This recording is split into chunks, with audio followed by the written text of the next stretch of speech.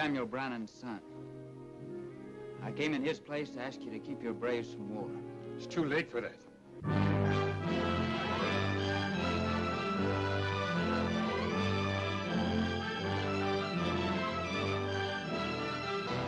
Go ahead, son. Kill him.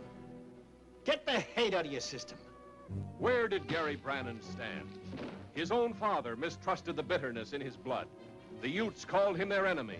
The town branded him an infamous traitor. And only the girl who loved him knew the grim gamble he was taking.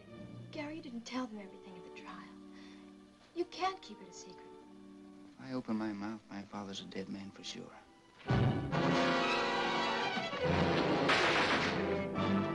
You never give up, do you, Sonny? With Hugh O'Brian, Mara Corday, Jay Silverheel, in the tense, action-packed story of a fighting adventurer who stood alone between a renegade powerful enough to provoke war and the terror ready to erupt across the river.